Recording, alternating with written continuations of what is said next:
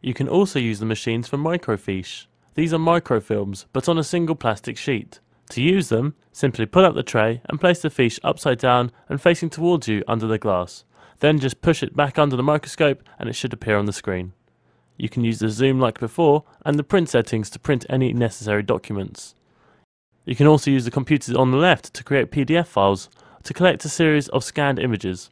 Log in as usual and load up Cover Gold Locator. The monitor will now display a PC sign instead of a number.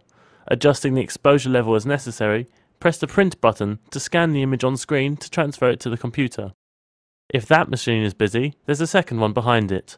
Make sure you familiarise yourself with the different positions of all the buttons and swivels though. If you're not sure, make sure you ask a member of staff for help.